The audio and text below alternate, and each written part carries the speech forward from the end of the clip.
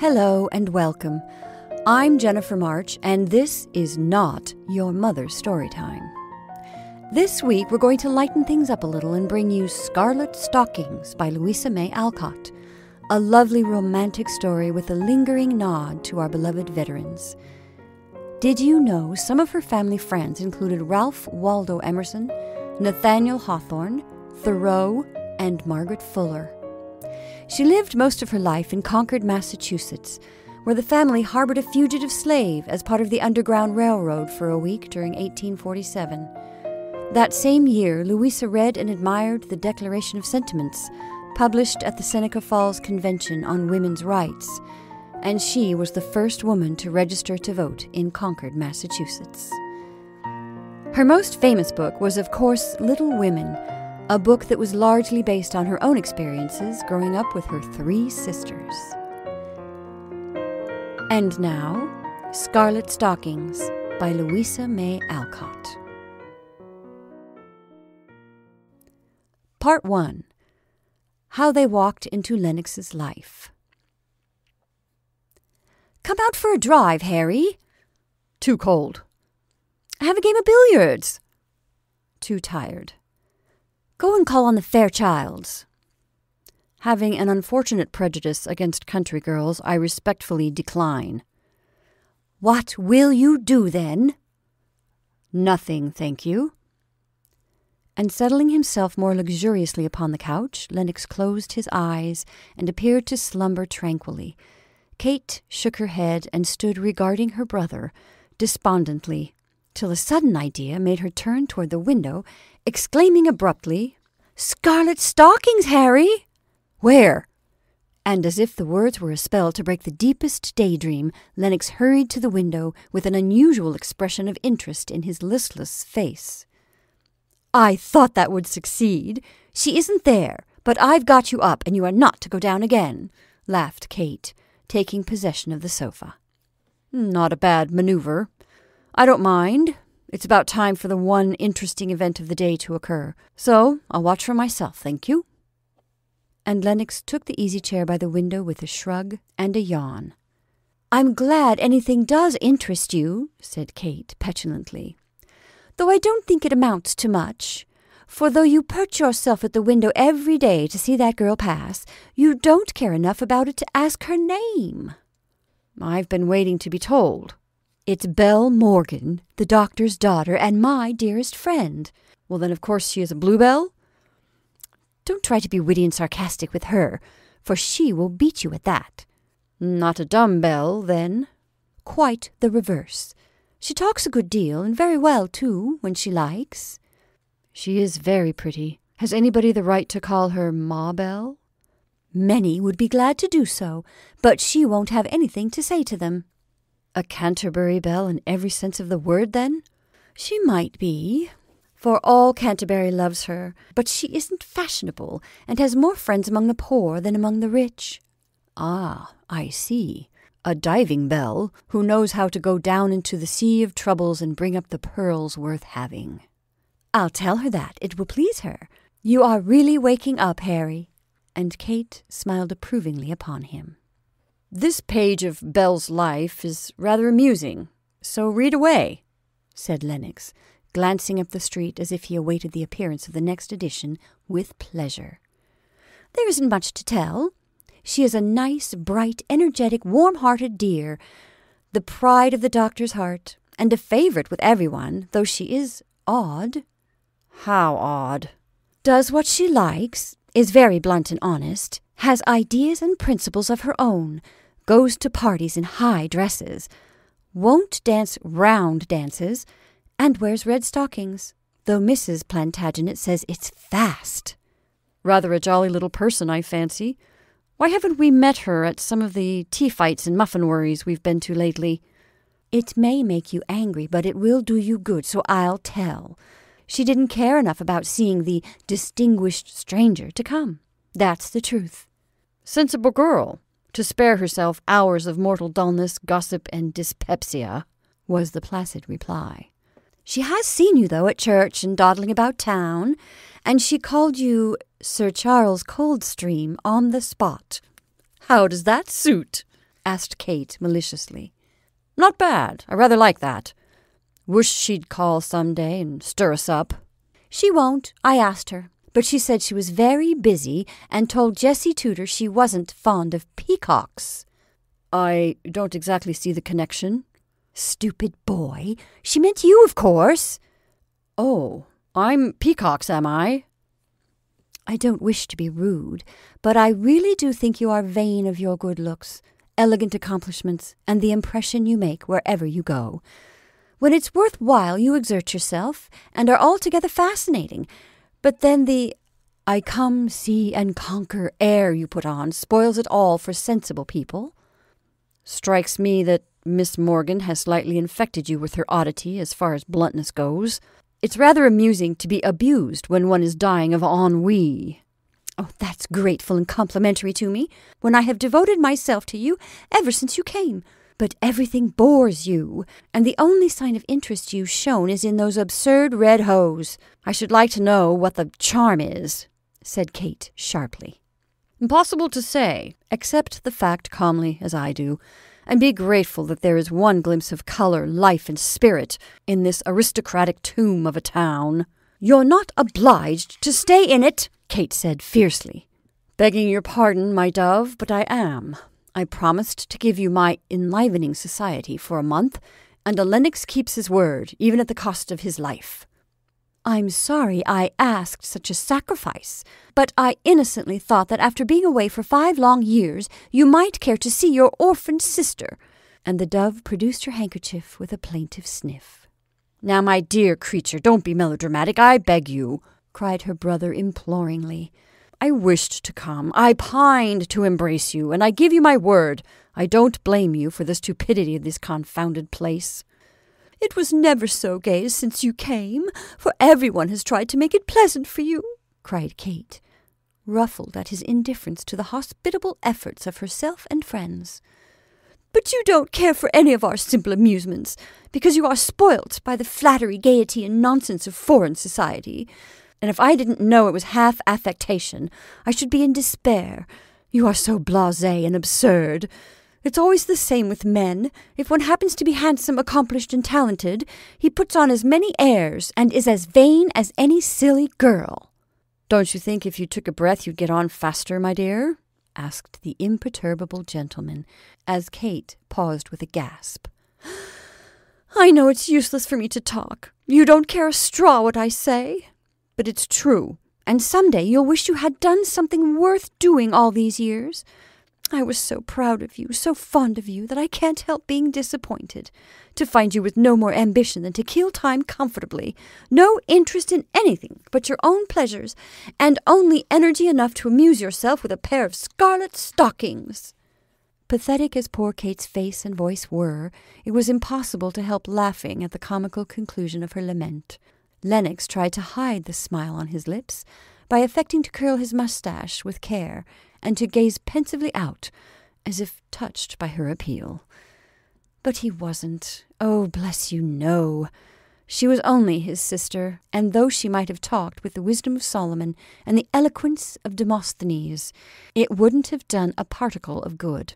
Sisters do very well to work for one, to pet one, and play confidant when one's love affairs need feminine wit to conduct them.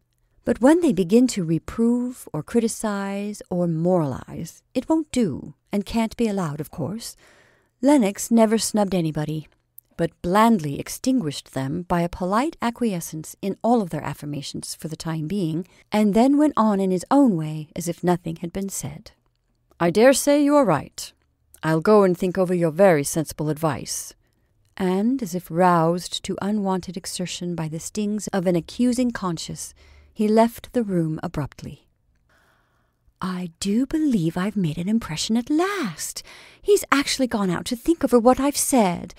Dear Harry, I was sure he had a heart, if one only knew how to get at it. And with a sigh of satisfaction, Kate went to the window to behold the dear Harry going briskly down the street after a pair of scarlet stockings. A spark of anger kindled in her eyes as she watched him and when he vanished, she stood still knitting her brows in deep thought, for a grand idea was dawning upon her. It was a dull town, no one could deny that, for everybody was so intensely proper and well born that nobody dared to be jolly. All the houses were square, aristocratic mansions, with revolutionary elms in front and spacious coach houses behind. The knockers had a supercilious perk to their bronze or brass noses. The dandelions on the lawns had a highly connected air, and the very pigs were evidently descended from our first families. Stately dinner parties, decorous dances, moral picnics, and much teapot gossiping were the social resources of the place.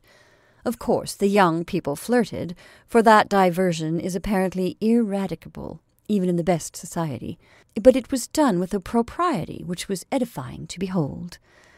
One can easily imagine that such a starched state of things would not be particularly attractive to a travelled young gentleman like Lennox, who, as Kate very truly said, had been spoilt by the flattery, luxury, and gaiety of foreign society. He did his best, but by the end of the first week, ennui claimed him for its own, and passive endurance was all that was left him. From perfect despair, he was rescued by the scarlet stockings, which went tripping by one day as he stood at the window, planning some means of escape. A brisk, blithe faced girl passed in a grey walking suit, with a distracting pair of high heeled boots and glimpses of scarlet at the ankle. Modest, perfectly so, I assure you, were the glimpses, but the feet were so decidedly pretty that one forgot to look at the face appertaining thereunto. It wasn't a remarkably lovely face, but it was a happy, wholesome one, with all sorts of good little dimples in cheek and chin, sunshiny twinkles in the black eyes, and a decided yet lovable look about the mouth that was quite satisfactory. A busy, bustling little body she seemed to be, for sack pockets and muff were full of bundles, and the trim boots tripped briskly over the ground as if the girl's heart were as light as her heels. Somehow, this active, pleasant figure seemed to wake up the whole street and leave a streak of sunshine behind it, for every one nodded as it passed, and the primmest faces relaxed into smiles which lingered when the girl had gone. Uncommonly pretty feet. She walks well, which American girls seldom do, all waddle or prance. Nice face. But the boots are French, and it does my heart good to see 'em. Lennox made these observations to himself as the young lady approached, nodded to Kate at another window, gave a quick but comprehensive glance at himself, and trotted round the corner, leaving the impression on his mind that a whiff of fresh spring air had blown through the street in spite of the December snow. He didn't trouble himself to ask who it was, but fell into the way of lounging in the bay window at about 3 p.m., and watching the grey and scarlet figure pass with its blooming cheeks, bright eyes, and elastic step. Having nothing else to do, he took to petting this new whim, and quite depended on the daily stirring up which the sight of the energetic damsel gave him. Kate saw it, but took no notice till the day of the little tiff above recorded. After that she was as soft as a summer sea, and by some clever stroke had Belle Morgan to tea that very week. Lennox was one of the best tempered fellows in the world, but the peacocks did rather nettle him because there was some truth in the insinuation, so he took care to put on no airs or try to be fascinating in the presence of Miss Belle. In truth, he soon forgot himself entirely, and enjoyed her oddities with a relish, after the prim proprieties of the other young ladies who had simpered and sighed before him. For the first time in his life, the crusher, as his male friends called him, got crushed. For Belle, with the subtle skill of a quick witted, keen sighted girl, soon saw and condemned the elegant affectations which others called foreign polish.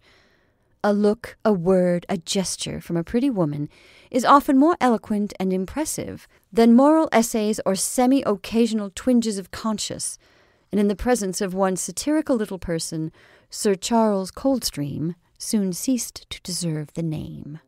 Belle seemed to get over her hurry and to find time for occasional relaxation, but one never knew in what mood he might find her, for the weathercock was not more changeable than she. Lennox liked that, and found the muffin worries quite endurable with this sauce piquante to relieve their insipidity. Presently he discovered that he was suffering for exercise, and formed the wholesome habit of promenading the town about 3 p.m. Kate said, to follow the scarlet stockings. Part 2 Where They Led Him. Whither away, Miss Morgan? asked Lennox as he overtook her one bitter cold day. I'm taking my constitutional. So am I. With a difference. And Belle glanced at the blue nosed, muffled up gentleman strolling along beside her with an occasional shiver and shrug. After a winter in the south of France, one don't find Arctic weather like this easy to bear, he said with a disgusted air. I like it, and do my five or six miles a day, which keeps me in what fine ladies call rude health, answered Belle, walking him on at a pace which soon made his furs a burden. She was a famous pedestrian, and a little proud of her powers, but she outdid all former feats that day, and got over the ground in gallant style. Something in her manner put her escort on his mettle, and his unusual lounge was turned into a brisk march which set his blood dancing, face glowing, and spirits effervescing as they had not done for many a day. There! You look more like your real self now, said Belle, with the first sign of approval she had ever vouchsafed him, as he rejoined her after a race to recover her veil, which the wind whisked away over hedge and ditch. Are you sure you know what my real self is? he asked, with a touch of the conquering hero air. Not a doubt of it. I always know a soldier when I see one, returned Belle decidedly. A soldier? That's the last thing I should expect to be accused of. And Lennox looked both surprised and gratified. There's a flash in your eye and a ring in your voice occasionally which made me suspect that you had fire and energy enough if only you chose to show it, and the spirit with which you have just executed the Morgan Quickstep proves that I was right, returned Belle, laughing. Then I am not altogether a peacock? said Lennox, significantly, for during that chat, which had been as brisk as the walk, Belle had given his besetting sins several sly hits, and he couldn't resist one return shot, much as her unexpected compliment pleased him. Poor Belle blushed up to her forehead, tried to look as if she did not understand, and gladly hid her confusion behind the recovered veil without a word. There was a decided display both of the flash and the ring as Lennox looked at the suddenly subdued young lady, and, quite satisfied with his retaliation, gave the order, Forward, march! which brought them to the garden gate, breathless, but better friends than before. The next time the young people met, Belle was in such a hurry that she went round the corner with an abstracted expression which was quite a triumph of art. Just then off tumbled the lid of the basket she carried, and Lennox, rescuing it from a puddle, obligingly helped readjust it over a funny collection of bottles, dishes, and tidy little rolls of all sorts. It's very heavy. Mayn't I carry it for you? he asked in an insinuating manner. No, thank you, was on Belle's lips but observing that he was got up with unusual elegance to pay calls, she couldn't resist the temptation of making a beast of burden of him, and took him at his word. You may, if you like. I've got more bundles to take from the store, and another pair of hands won't come amiss. Lennox lifted his eyebrows, also the basket, and they went on again, Belle very much absorbed in her business, and her escort wondering where the dickens she was going with all that rubbish filling his unoccupied hand with sundry brown paper parcels, much to the detriment of the light kid that covered it. Belle paraded him down the main street before the windows of the most aristocratic mansions, and then dived into a dirty back lane where the want and misery of the town was decorously kept out of sight. You don't mind scarlet fever, I suppose, observed Belle as they approached the unsavory residence of Biddy O'Brien. Well, uh, I'm not exactly partial to it, said Lennox, rather taken aback. You needn't go in if you're afraid, or speak to me afterwards, so no harm will be done, except to your gloves. Why do you come here, if I may ask? It isn't the sort of amusement I should recommend. He began, evidently disapproving of the step. Oh, I'm used to it, and I like to play nurse where father plays doctor. I'm fond of children, and Mrs. O'Brien's are little dears, returned Belle briskly, threading her way between ash heaps and mud puddles, as if bound to a festive scene. Judging from the row in there, I should infer that Mrs. O'Brien had quite a herd of little dears. Only nine. And all sick? More or less. By Jove, it's perfectly heroic in you to visit this hole in spite of dirt, noise, fragrance, and infection, cried Lennox, who devoutly wished that the sense of smell, if not of hearing, were temporarily denied him. Oh, bless you! It's the sort of thing I enjoy, for there's no nonsense here. The work you do is pleasant if you do it heartily, and the thanks you get are worth having, I assure you. She put her hand out to relieve him of the basket, but he gave it an approving little shake and said briefly, mm, Not yet. I'm coming in. It's all very well to rhapsodize about the exquisite pleasure of doing good, to give carelessly of one's abundance, and enjoy the delusion of having remembered the poor, but it is a cheap charity, and never brings the genuine satisfaction which those who give their mite with heart as well as hand, and truly love their neighbour as themselves. Lennox had seen much fashionable benevolence, and laughed at it even when he imitated it, giving generously when it wasn't inconvenient. But this was a new sort of thing entirely, and in spite of the dirt, the noise, and the smells, he forgot the fever and was glad he came when poor Mrs. O'Brien turned from her sick babies, exclaiming with Irish fervour at sight of Belle. The Lord love you, darling, for remembering us when everyone, barring the doctor and the priest, turns the cold shoulder to our troubles. Now, if you really want to help, just keep this child quiet while I see to the sickest ones said Belle, dumping a stout infant on his knee, thrusting an orange into his hand, and leaving him aghast while she unpacked her little messes and comforted the maternal bird. With the calmness of desperation, her aide de camp put down his best beaver on the rich soil which covered the floor, pocketed his Paris kids, and making a bib of his cambric handkerchief, gagged young Pat deliciously with bits of orange whenever he opened his mouth to roar. At her first leisure moment, Belle glanced at him to see how he was getting on, and found him so solemnly absorbed in his task that she went off into a burst of such infectious merriment that the O'Briens, sick and well, joined in it to a man. Good fun, isn't it?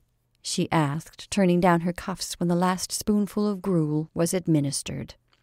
I've no doubt of it, when one is used to the thing. It comes a little hard at first, you know, returned Lennox, wiping his forehead with a long breath and seizing his hat as if he were quite ready to tear himself away.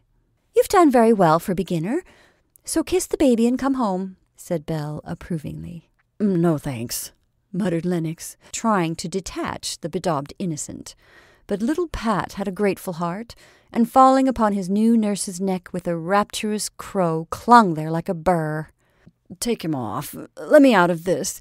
He's one too many for me, cried the wretched young man in comic despair. Being freed with much laughter, he turned and fled, followed by a shower of blessings from Mrs. O'Brien. As they came up again into the pleasant highways, Lennox said awkwardly for him, The thanks of the poor are excellent things to have, but I think I'd rather receive them by proxy. Will you kindly spend this for me in making that poor soul comfortable?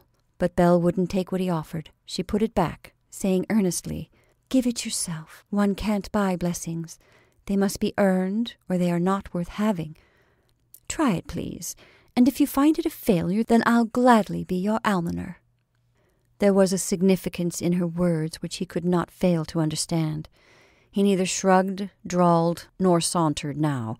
He gave her a look in which respect and self reproach were mingled, and left her, simply saying, I'll try it, Miss Morgan. Now, isn't she odd? whispered Kate to her brother as Belle appeared at the little dance at Mrs. Plantagenet's in a high necked dress, knitting away on an army sock as she greeted the friends who crowded round her. Charmingly so. Why don't you do that sort of thing when you can?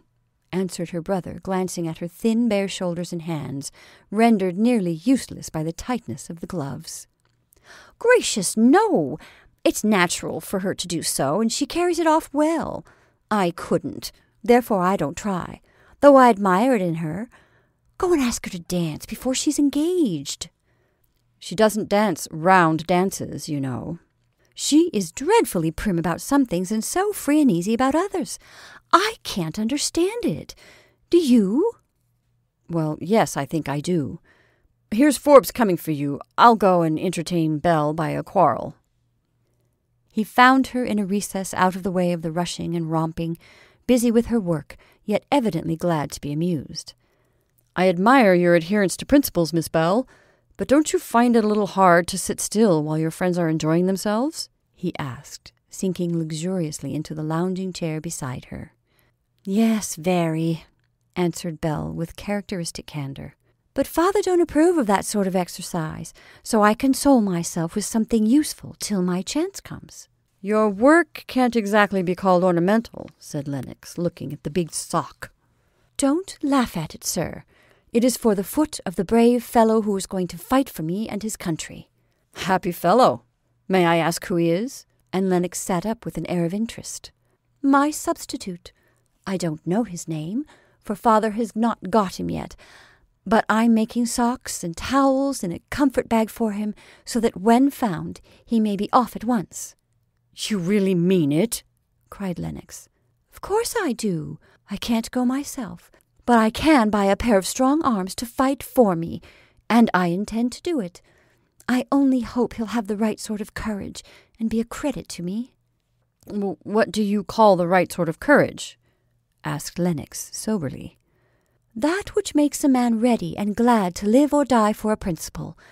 There's a chance for heroes now, if there ever was. When do you join your regiment? she added abruptly.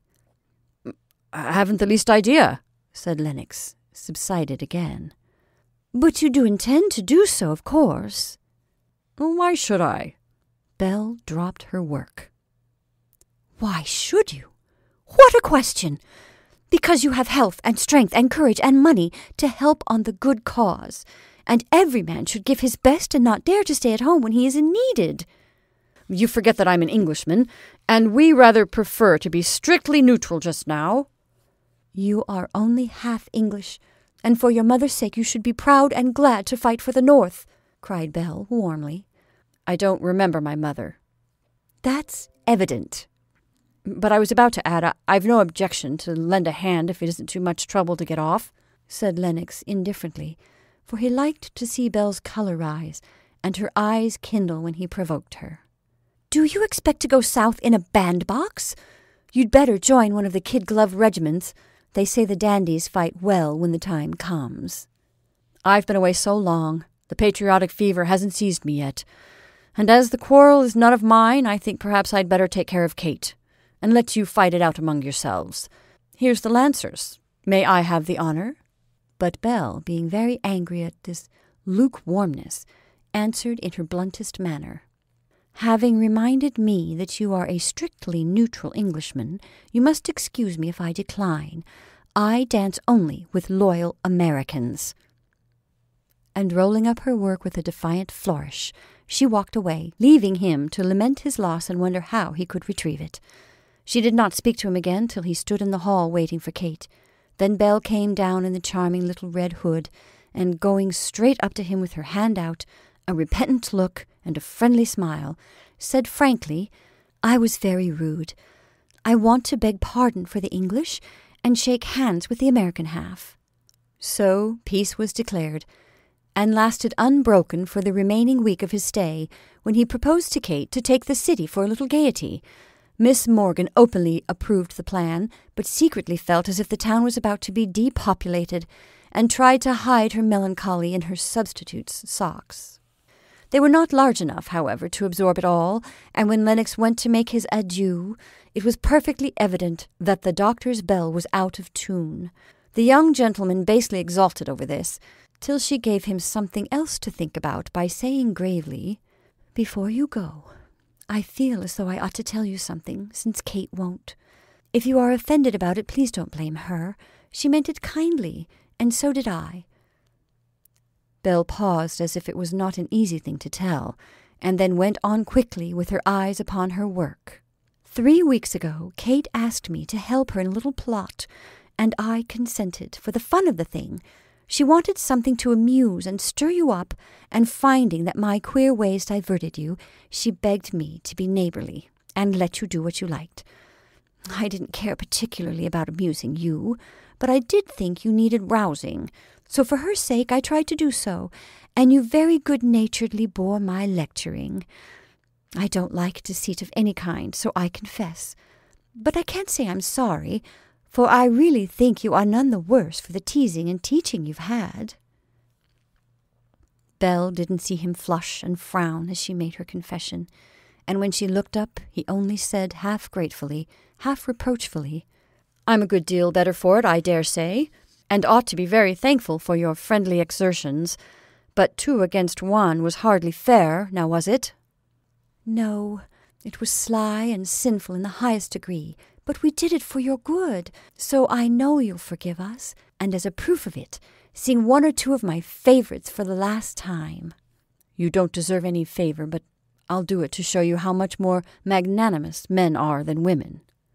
Not at all loath to improve his advantages, Lennox warbled his most melting Les con amour, watching as he sung for any sign of sentiment in the girlish face opposite.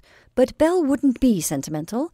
She rattled her knitting needles industriously through The Harbor Bar was moaning, dolefully through Douglas, was touchingly tender and true, and the wind of the summer night sighed romantically through the sitting room. Much obliged. Must you go? she said, without a sign of soft confusion as he rose. I must, but I shall come again before I leave the country. May I? he asked, holding her hand. If you come in a uniform. Good night, Belle. Good-bye, Sir Charles, with a wicked twinkle of the eye, which lasted till he closed the hall door, growling irefully. I thought I'd had some experience, but one can never understand these women. Canterbury did become a desert to Belle after her dear friend had gone.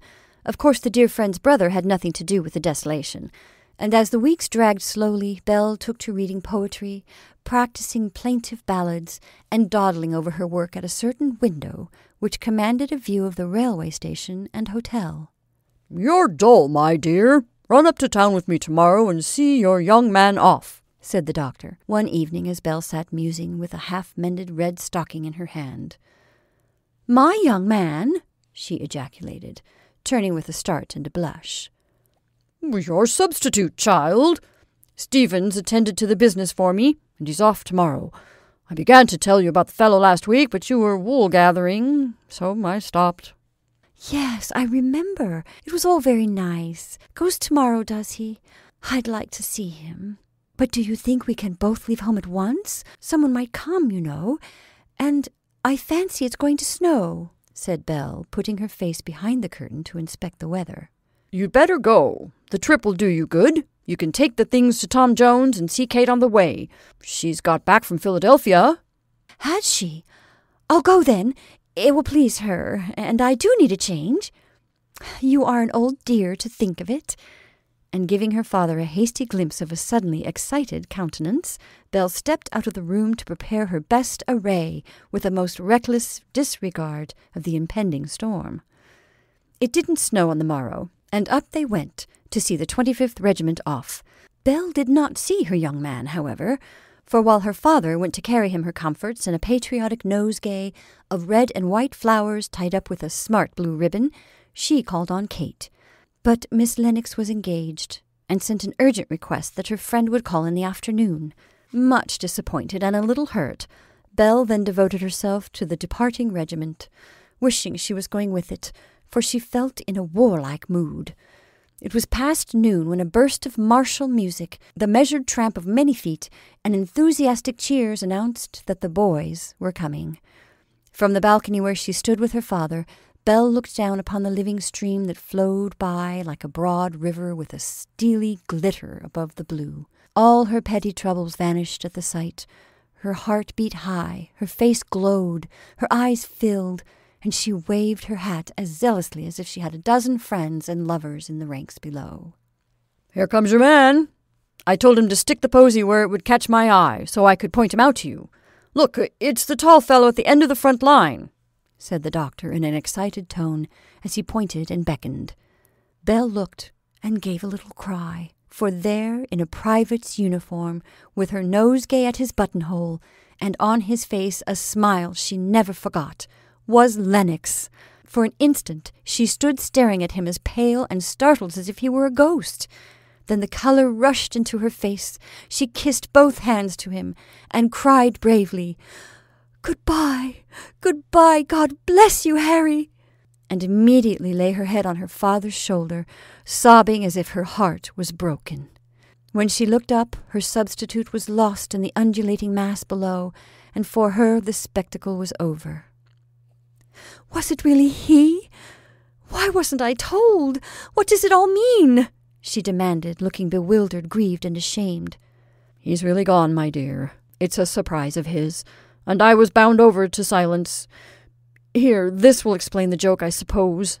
And the doctor handed her a cocked hat note done up like a military order. A Roland for your Oliver, mademoiselle. I came home for the express purpose of enlisting, and only delayed a month on Kate's account. If I ever return, I will receive my bounty at your hands. Till then, please comfort Kate. Think as kindly as you can of Sir Charles, and sometimes pray a little prayer for your unworthy substitute. Belle looked very pale and meek when she put her note in her pocket, but she only said, I must go and comfort Kate. And the doctor gladly obeyed, feeling that the joke was more serious than he had imagined. The moment her friend appeared, Miss Lennox turned on her tears and played away, pouring forth lamentations, reproaches, and regrets in a steady stream. I hope you are satisfied now, you cruel girl, she began, refusing to be kissed. You sent him off with a broken heart to rush into danger and be shot or get his arms and legs spoilt. You know he loved you and wanted to tell you so, but you wouldn't let him, and now you've driven him away, and he's gone as an insignificant private with his head shaved, and a heavy knapsack breaking his back, and a horrid gun that will be sure to explode. And he would wear those immense blue socks you sent, for he adores you, and you only teased and laughed at him. My poor, deluded, deserted brother! And quite overwhelmed by the afflicting picture, Kate lifted up her voice and wept again. I am satisfied, for he's done what I hoped he would do, and he's none the less a gentleman because he's a private and wears my socks. I pray they will keep him safe, and bring him home to us when he has done his duty like a man, as I know he will. I'm proud of my brave substitute, and I'll try to be worthy of him, cried Belle, kindling beautifully as she looked out into the wintry sunshine, with a new softness in the eyes that still seemed watching that blue coated figure marching away to danger, perhaps death. It's ill playing with edged tools. We meant to amuse him, and we may have sent him to destruction. I'll never forgive you for your part, never, said Kate with the charming inconsistency of her sex. But Belle turned away her wrath by a softer answer as she whispered with a tender choke in her voice, We both love him, dear. Let's comfort one another.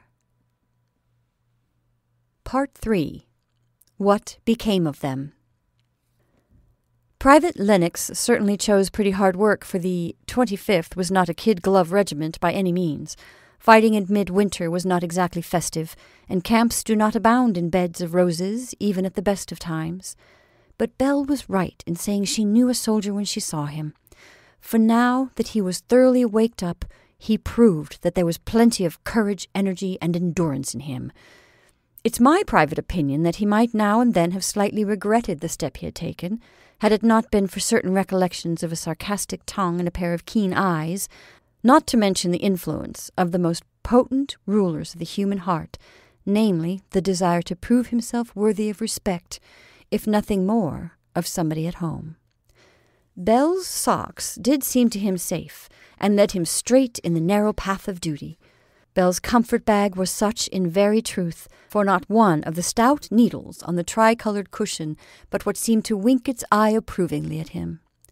Not one of the tidy balls of thread that did not remind him of the little hand he coveted, and the impractical scissors were cherished as a good omen, though he felt that the sharpest steel that ever came from Sheffield couldn't cut his love in twain. And Belle's lessons, short as they had been, were not forgotten, He seemed to have been taken up by a sterner mistress, whose rewards were greater if not so sweet as those the girl could give. There was plenty of exercise nowadays, of hard work that left many a tired head asleep forever under the snow. There were many opportunities for diving into the depths and bringing up pearls worth having by acts of kindness among the weak, the wicked, and the suffering all about him. He learned now how to earn, not buy, the thanks of the poor, and unconsciously proved in the truest way that a private could be a gentleman. But best of all was the steadfast purpose to live and die for a principle, which grew and strengthened with each month of bitter hardship, bloody strife, and dearly bought success. Life grew earnest to him. Time seemed precious, self was forgotten, and all that was best and brave rallied round the flag on which his heart inscribed the motto Love and Liberty. Praise and honour he could not fail to win, and had he never gone back to claim his bounty, he would have earned the great Well done, for he kept his oath loyally, did his duty manfully, and loved his lady faithfully, like a knight of chivalrous times.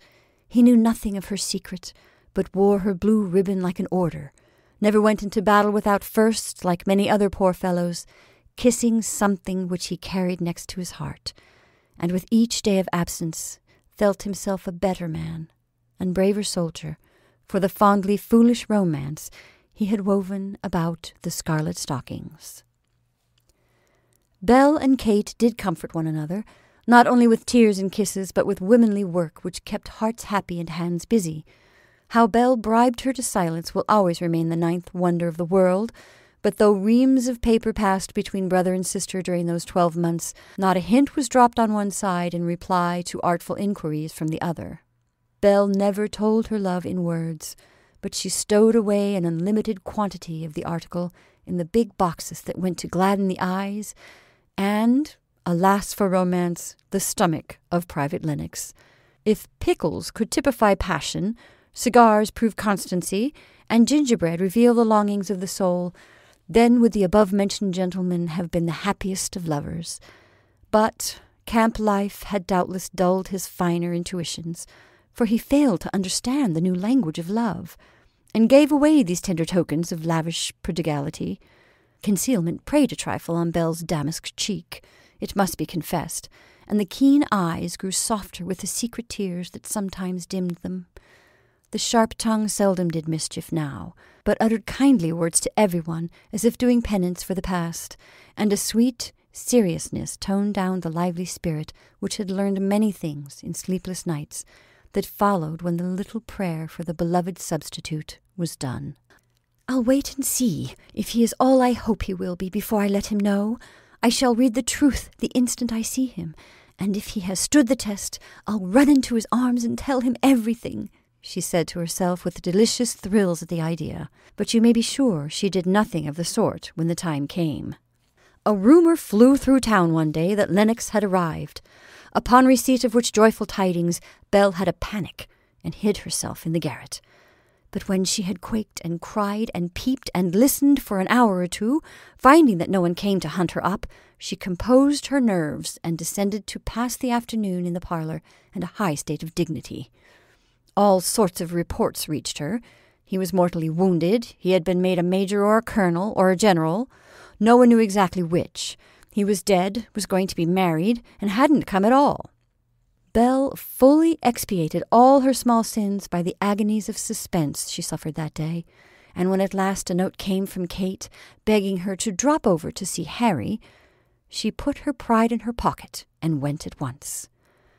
The drawing room was empty and in confusion. There was a murmur of voices upstairs, a smell of camphor in the air, and an empty wineglass on the table where a military cap was lying. Belle's heart sunk, and she covertly kissed the faded blue coat as she stood waiting breathlessly, wondering if Harry had any arms for her to run into. She heard the chuckling Biddy lumber up and announce her. Then a laugh and a half fond, half exulted, Aha! I thought she'd come. That spoilt it all. Belle took out her pride instanter, set her teeth, rubbed a quick colour into her white cheeks, and snatched up a newspaper, sat herself down with as expressionless a face as it was possible for an excited young woman to possess. Lennox came running down. Thank heaven, his legs are safe, sighed Belle, with her eyes glued to the price of beef. He entered with both hands extended, which relieved her mind upon another point, and he beamed upon her, looking so vigorous, manly, and martial that she cried within herself, My beautiful brown soldier! even while she greeted him with an unnecessarily brief, How do you do, Mr. Lennox? The sudden eclipse which passed over his joyful countenance would have been ludicrous if it hadn't been pathetic. But he was used to hard knocks now, and bore this, his hardest, like a man. He shook hands heartily, and as Belle sat down again, not to betray that she was trembling a good deal, he stood at ease before her, talking in a way which soon satisfied her that he had borne the test, and that bliss was waiting for her around the corner. But she had made it such a very sharp corner she couldn't turn it gracefully, and while she pondered how to do so, he helped her with a cough. She looked up quickly, discovering all at once that he was very thin, rather pale in spite of the nice tan, and breathed hurriedly as he stood with one hand at his breast. Are you ill? Wounded? In pain? she asked, forgetting herself entirely. Yes, all three, he answered, after a curious look at her changing color and anxious eyes. Oh, sit down. Tell me about it. Can I do anything? And Belle began to plump up the pillows on the couch with nervous eagerness. Thank you. I'm past help, was the mournful reply, accompanied by a hollow cough which made her shiver. Oh, don't say so. Let me bring father. He's very skilful. Shall I call Kate? He can do nothing. Kate doesn't know this, and I beg you won't tell her. I got a shot in the breast and made light of it, but it will finish me sooner or later. I don't mind telling you, for you are one of the strong, cool sort, you know, and are not affected by such things. But Kate is so fond of me, I don't want to shock and trouble her yet a while. Let her enjoy my little visit and after I'm gone, you can tell her the truth.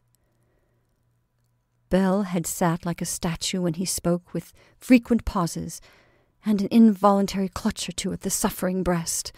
As he stopped and passed his hand over his eyes, she said slowly, as if her white lips were stiff. Gone? Where? Back to my place. I'd rather die fighting than fussed and wailed over by a parcel of women. I expected to stay a week or so, but a battle is coming off sooner than we imagined, so I'm away again tomorrow. As I'm not likely ever to come back, I just wanted to ask you to stand by poor Kate when I'm finished, and to say goodbye to you, Belle, before I go. He put out his hand, but holding it fast in both her own, she laid her tearful face down on it, whispering, imploring, Oh, Harry, stay. Never mind what happened for the next ten minutes. Suffice it to say that the enemy having surrendered, the victor took possession with great jubilation and showed no quarter. Bang the field piece, toot the fife, and beat the rolling drum, for ruse number three has succeeded. Come down, Kate, and give us your blessing, called Lennox, taking pity on his sister, who was anxiously awaiting the denouement on the stairs.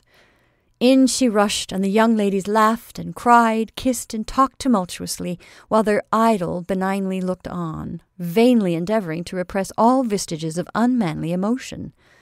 And you are not dying, really, truly? cried Belle, when fair weather set in after the flurry. Bless your dear heart, no. I'm as sound as a nut, and haven't a wound to boast of, except this ugly slash on my head. It's a splendid wound, and I'm proud of it, and Belle set a rosy little seal on the scar, which quite reconciled her lover to the disfigurement of his handsome forehead. You've learned to fib in the army, and I'm disappointed in you, she added, trying to look reproachful and failing entirely. No, only the art of strategy.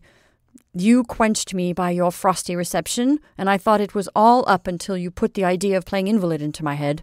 It succeeded so well that I piled on the agony, resolving to fight it out on that line, and if I failed again, to make a masterly retreat. You gave me a lesson in deceit once, so don't complain if I turned the tables and made your heart ache for a minute. as you've made mine for a year. Belle's spirit was rapidly coming back, so she gave him a capital imitation of his French shrug, and drawled out in his old way, I have my doubts about that, mon ami. What do you say to this, and this, and this? He retorted, pulling out and laying before her with a triumphant flourish a faded blue ribbon, a fat pin cushion with a hole through it, and a dainty painted little picture of a pretty girl in scarlet stockings. There, I've carried those treasures in my breast pocket for a year, and I am firmly convinced that they have all done their part toward keeping me safe. The blue ribbon bound me fast to you, Belle. The funny cushion caught the bullet that otherwise might have finished me, and the blessed little picture was my comfort during those dreadful marches, my companion on picket duty, with treachery and danger all about me, and my inspiration when the word charge went down the line. For in the thickest of the fight, I always saw the little grey figure beckoning me on to my duty. Oh, Harry, you won't go back to all those horrors, will you? I'm sure you've done enough and may rest now and enjoy your reward, said Kate, trying not to feel that two is company and three is none. I've enlisted for the war and shall not rest till either it or I come to an end. As for my reward, I had it when Belle kissed me. You are right. I'll wait for you, and love you all the better for the sacrifice, whispered Belle. I only wish I could share your hardships, dear, for while you fight and suffer, I can only love and pray. Waiting is harder than working to such as you, so be contented with your share for the thought of you will glorify the world generally for me. I'll tell you what you can do while I'm away. It's both useful and amazing, so it will occupy and cheer you capitally. Just knit lots of red hose, because I don't intend you to wear any others hereafter, Mrs. Lennox. Mine are not worn out yet, laughed Belle, getting merry in the thought. No matter for that. Those are sacred articles, and henceforth must be treasured as memorials of our love. Frame and hang 'em up, or if the prejudices of society forbid that flight of romance, lay them carefully away, where moths can't devour nor thieves steal 'em, so that years hence, when my descendants praise me for any virtues I may possess, any good I may have done, or any honour I may have earned, I can point to those precious relics and say proudly, My children, for all that I am or hope to be, you must thank your honored mother's scarlet stockings. And that's our story for this evening. I hope you enjoyed Scarlet Stockings by Louisa May Alcott. I'm Jennifer March, and this is not your mother's story time.